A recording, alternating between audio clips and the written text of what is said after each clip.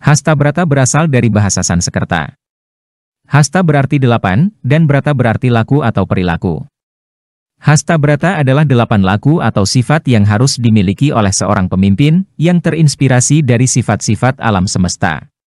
Dalam cerita Ramayana, Hasta Brata diinterpretasikan sebagai watak dewa yang ditiru oleh para pemimpin. Delapan watak dewa tersebut, yaitu satu Surya, yaitu matahari. Keadilan dan kebijaksanaan. Kadia Surya, diinterpretasikan bahwa pemimpin harus mampu menjadi penerang bagi rakyatnya, memberikan kehangatan, serta menjadi sumber inspirasi. Dua Chandra, yaitu bulan. Keteguhan dan ketenangan. Pemimpin harus mampu memberikan rasa tenang dan kedamaian, serta menjadi sumber penerangan di saat gelap. Tiga Samudra, yaitu lautan. Keluasan dan kedalaman. Pemimpin harus mampu menampung segala aspirasi dan keluh kesah rakyatnya dengan lapang dada, serta mampu memberikan solusi yang bijaksana. 4. Bumi Kesabaran dan keteguhan Pemimpin harus mampu menjadi tempat bergantung bagi rakyatnya, memberikan rasa aman dan nyaman, serta mampu menyediakan kebutuhan rakyatnya. 5. Angin Kecepatan dan kegesitan Pemimpin harus mampu menyebarkan kebaikan dan keadilan ke seluruh penjuru wilayahnya, serta mampu membawa perubahan positif bagi rakyatnya. 6. Agni yaitu api.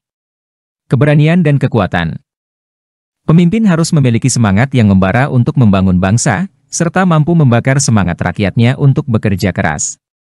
7. Chandra yaitu bintang. Ketelitian dan kejelian. Pemimpin harus menjadi contoh dan teladan bagi rakyatnya, serta mampu memberikan pencerahan dan arah yang jelas bagi bangsa. 8. Wulan atau langit Ketinggian dan keluasan Pemimpin harus memiliki wawasan yang luas dan berpandangan jauh ke depan, serta mampu melindungi rakyatnya dari segala bahaya. Mengambil referensi dari sumber lain, yaitu Naskah Pustaka Raja Purwa Hasta Brata diinterpretasikan sebagai delapan sifat yang harus dimiliki pemimpin. Yaitu Aji atau kekuatan. Wiguna. Artinya kepandaian. Nirmala. Yaitu kesucian. Megah. Artinya kebesaran. Widya. Yaitu pengetahuan. Raksa. Atau perlindungan.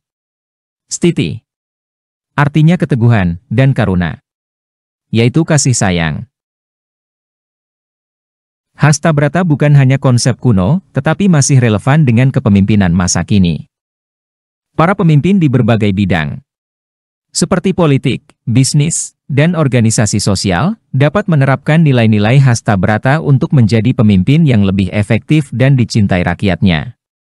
Contoh penerapan Hasta Brata Seorang pemimpin yang mengadakan program pendidikan gratis bagi rakyatnya mencerminkan sifat Kadya Surya, seperti matahari yang memberikan penerangan dan semangat untuk belajar. Seorang pemimpin yang turun langsung ke lapangan untuk membantu rakyatnya yang terkena bencana alam, mencerminkan sifat Kadya Bumi, atau sifat bumi yang menjadi tempat bergantung. Seorang pemimpin yang berani menegakkan keadilan meskipun mendapat tekanan dari berbagai pihak, mencerminkan sifat Kadya Agni, atau laksana api yang memiliki semangat membara untuk kebenaran. Berikutnya perlu diketahui. Pertama, asal-usul Hasta Brata. Konsep Hasta Brata pertama kali muncul dalam kitab Sutasoma, karya Empu Tantular pada zaman kerajaan Majapahit. Kitab ini menceritakan perjalanan Bima mencari air kehidupan untuk menyembuhkan penyakit ayahnya. Dalam perjalanannya, Bima bertemu dengan berbagai dewa dan mendapatkan berbagai pelajaran tentang kepemimpinan. Kedua, bagaimana perkembangan Hasta Brata? Konsep Hasta Brata terus berkembang dan diinterpretasikan ulang oleh para pemikir dan pemimpin Jawa sepanjang sejarah. Pada masa Islam, nilai-nilai Hasta Brata disesuaikan dengan prinsip-prinsip Islami. Ketiga, bagaimana pengaruh Hasta Brata? Konsep Hasta Brata memiliki pengaruh yang besar pada budaya dan politik Jawa. Nilai-nilai Hasta Brata masih dipegang teguh oleh banyak orang Jawa hingga saat ini. Keempat, relevansi Hasta Brata di masa kini. Meskipun Hasta Brata berasal dari budaya Jawa kuno, nilai-nilai yang terkandung di dalamnya masih relevan dengan masa kini. Konsep Hasta Brata dapat diterapkan oleh para pemimpin di berbagai bidang untuk menjadi pemimpin yang lebih efektif dan dicintai rakyatnya. Kelima. Namun demikian, konsep Hasta Brata tidak luput dari kritik. Beberapa kritikus memang ada yang berpendapat bahwa konsep ini terlalu idealis dan sulit untuk diterapkan di dunia nyata. Bagaimana jika dikaitkan dengan era digitalisasi? Di era digital, nilai-nilai hasta brata masih relevan dan dapat dijadikan pedoman bagi pemimpin agar lebih efektif dan dicintai rakyatnya. Beberapa contoh penerapan hasta brata di era digital. Pertama, Kadya Surya.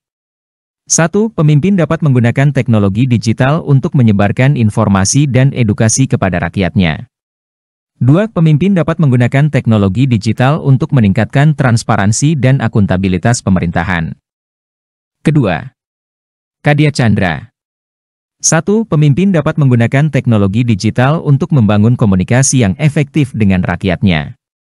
Dua, pemimpin dapat menggunakan teknologi digital untuk mendengarkan aspirasi dan keluh kesah rakyatnya. Ketiga, Kadya Samudra. Satu, pemimpin dapat menggunakan teknologi digital untuk menampung berbagai ide dan gagasan dari rakyatnya.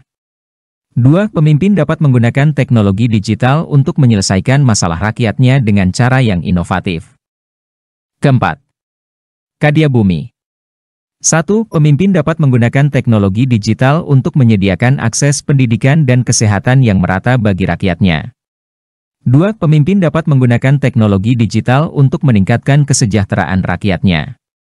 Kelima, Kadya Angin. 1. Pemimpin dapat menggunakan teknologi digital untuk menyebarkan kebaikan dan keadilan ke seluruh wilayahnya.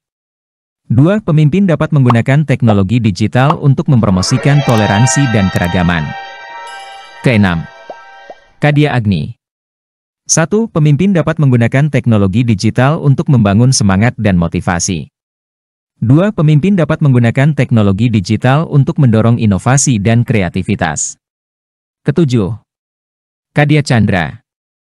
1. Pemimpin dapat menggunakan teknologi digital untuk menjadi contoh dan teladan. 2. Pemimpin dapat menggunakan teknologi digital untuk menyebarkan nilai-nilai positif kepada rakyatnya. Kedelapan. Kadya Wulan.